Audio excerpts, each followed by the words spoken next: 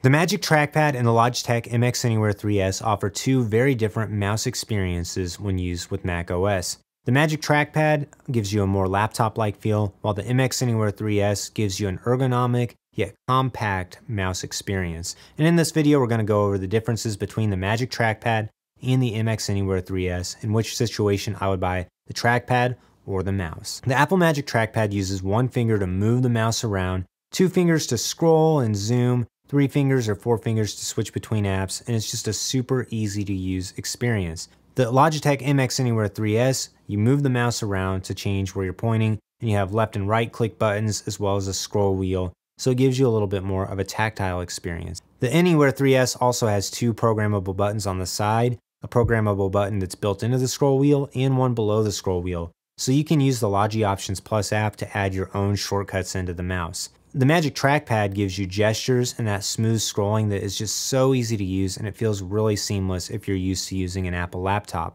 It's very precise, although it's not quite as precise as using a mouse. But I've seen a lot of people who use the trackpad exclusively and they get amazing results doing both photo and video editing and just your general computer work too.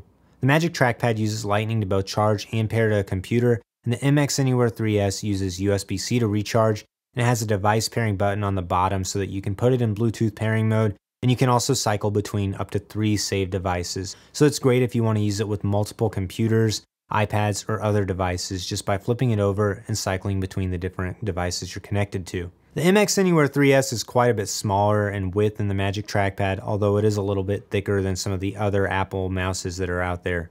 By the time you're moving the mouse around though, they take up about the same footprint on a desk setup.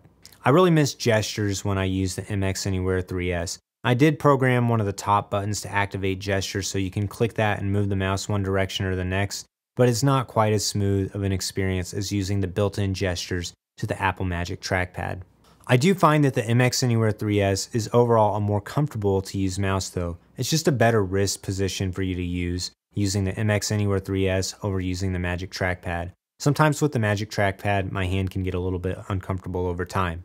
The MX Anywhere 3S goes for about $80 and the Apple Magic Trackpad goes for around 130 to $150 depending on if you get the white one or the space gray one. The MX Anywhere 3S is also available in black, graphite, pale gray, and rose, so there's more colors that you can get it in too. I think picking between these two devices basically comes down to if you want the trackpad experience that the Magic Trackpad provides, or if you want the more precise mouse experience that the MX Anywhere 3S provides, as well as having some of those dedicated device buttons for changing what device you're connected to, and the programmable buttons on the side and the top. I think if you're looking for that laptop-like experience, you'll really appreciate the Magic Trackpad. Just know that it's not as ergonomic as buying the MX Anywhere 3S. I'd buy the MX Anywhere 3S if you're looking for a more ergonomic, yet still portable setup for throwing a mouse into your backpack, but also still packing a great punch in a desktop situation using it at your home office or an office and then being able to quickly store it